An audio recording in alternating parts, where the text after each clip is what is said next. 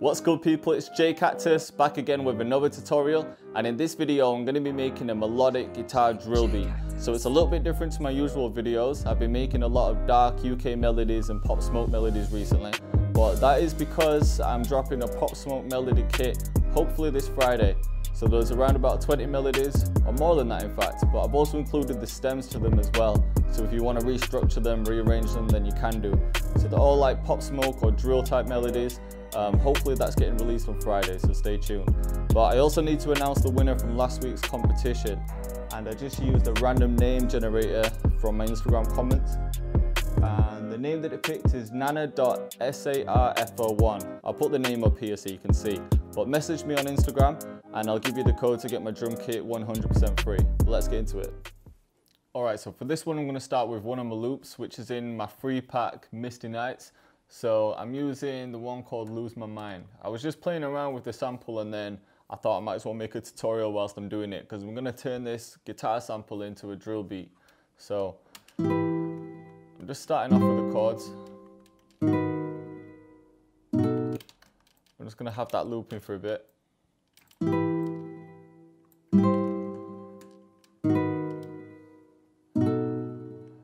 I'm just going to add my drums in here and then using the chop snare from my pack.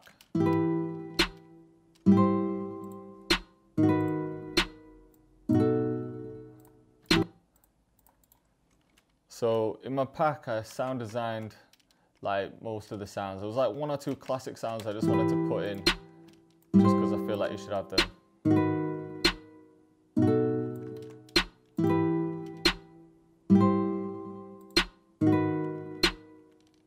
Right.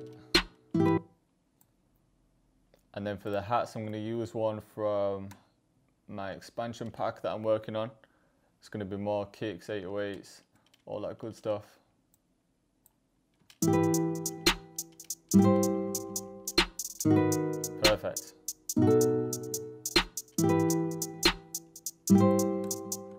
It's quite bouncy. Then for the open hat.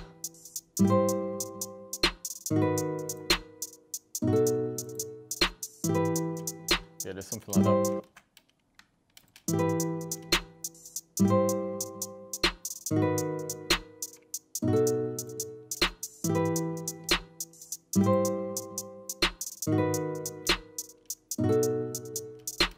I'm thinking I'm going to add the 808 in the kick, but I am going to add more instruments by the way. I'm just going to get the drums out the way first, whilst I've got the guitar playing, and then I'll add some counter melodies.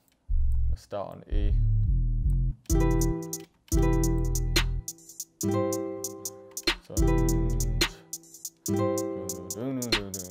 I want it like that, like some slides over here.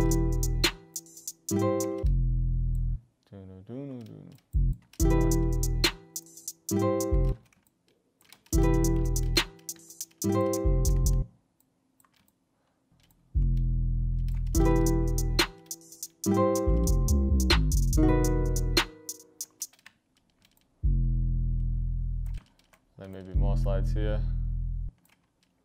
Just cut this.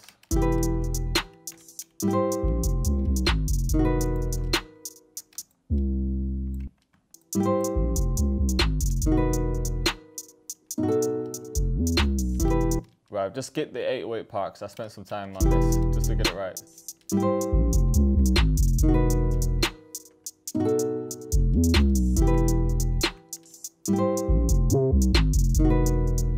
Too different. I just kept on changing my mind, but I'm happy with this. And then for the kick, I like to record them in first.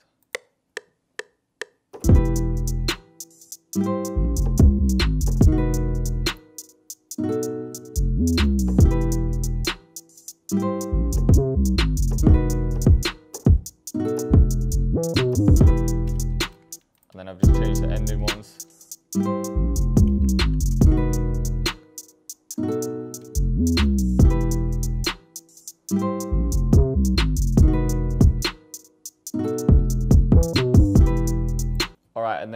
I found this sample, but I've pitched it up an octave.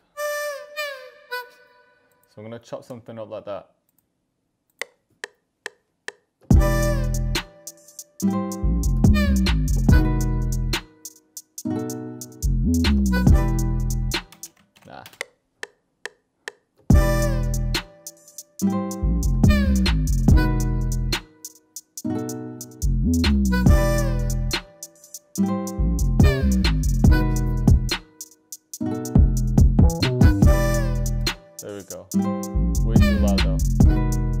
So now we've got this. So this could be one section in the verse. But I definitely need another counter day.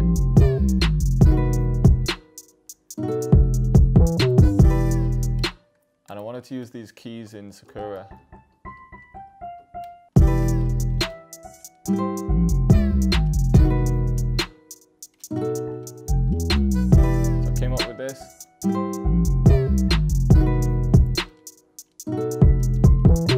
Again, I'll probably just have them keys in like one place, maybe the hook or a bridge or something. Right, so for the main chords, I'm thinking I want to pitch it down a full octave for the verse and then maybe bring it back up for the hook. And then this last counter melody that you can see here, this is just another stem in the loop. It's in my Misty Nights loop kit, so when I released that pack, I included all of the stems to each loop, just in case you wanted to, you know, rearrange it, like structure it differently to how I did.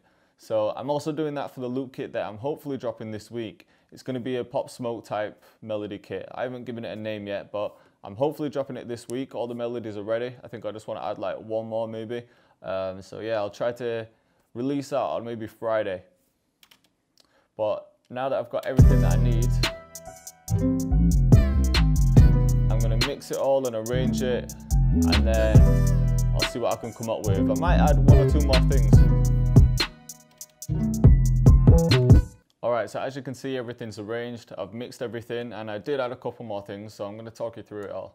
So for the intro, I've reversed the chords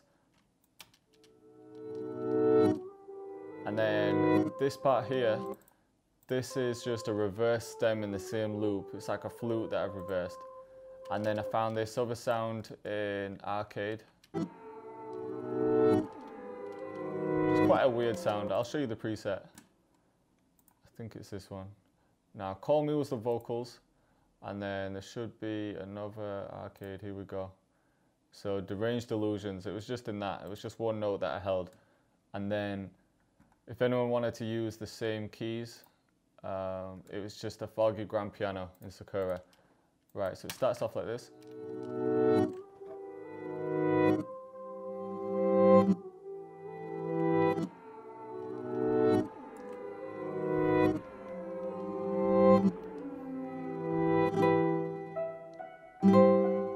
Keys come in for the intro, and then the melody goes the normal way around.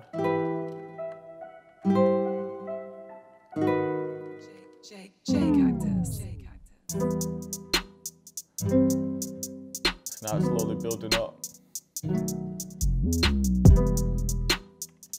Mine, I wanted to start on the verse. Vocals.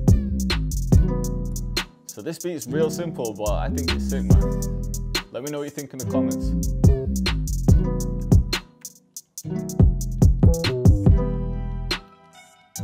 Keys come back in.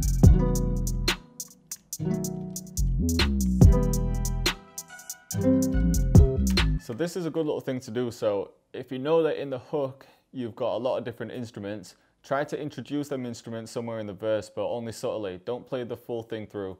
So just play like maybe half of the pattern that you've got or just a little section like I've done here.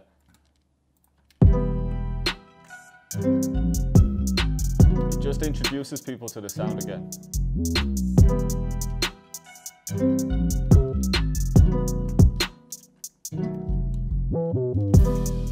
Added a crash here. And then this is where the hook comes in, so everything drops out.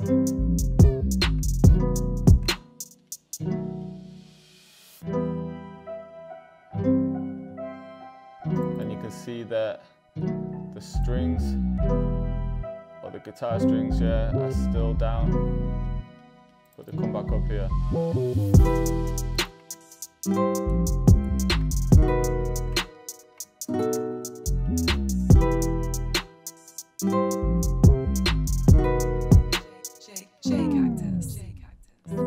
And then it kind of repeats and it fades out at the end. So just to talk you through some mixing for the strings, I tried different stuff, but in the end I added an EQ to take out some lows. Um, there were some more strings that I didn't actually use in the end. For the piano, I just added some reverb, some EQ, just to kind of filter it a little bit. I just like the sound that I created. And then when I'm using Effectrix, this is just a tape stop, the vinyl stop. So you can use it in. Jay Cactus. But if you want it to link to a few different things, what you need to do is create a bus. So you can see I've got an instrument bus, and then I've got the guitar strings linked to it, and then the piano as well. So what you do is, you'd say if I was linking it here, you'd right click and then route to this track only. And then same for any other instruments. So then once you've got this bus, all the instruments are linked to this one bus. And then when you put a vinyl stop or like Gross Beat or something, it will affect all of those instruments. I didn't want to put it on the master because if I did it on the master, then when you heard my tag come in, the tag would have docked down with the vinyl as well. So this is just a way to do it if you only want the instruments to be affected. All the drums, like whatever sounds you want, just link them to a bus and then apply the effect to that bus. right? So for the kick, I just took out some sub from the kick, some highs. You don't need to do that. It just sounded a bit cleaner in this track. Again, some real sub frequencies in the 808. Um, again, you don't need to do that. Jay Cactus. Jay Cactus. Not much in the high, well, nothing in the hi hats or the snare. Uh, again, the flute was linked to the instrument bus.